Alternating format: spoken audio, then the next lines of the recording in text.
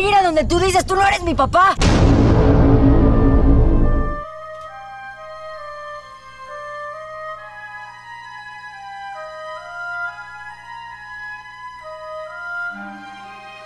Roberto, ¿por qué siempre se dice agüita y nunca la alcanzamos? Ah, porque estamos en una carretera infinita. ¿Qué quiere decir infinita?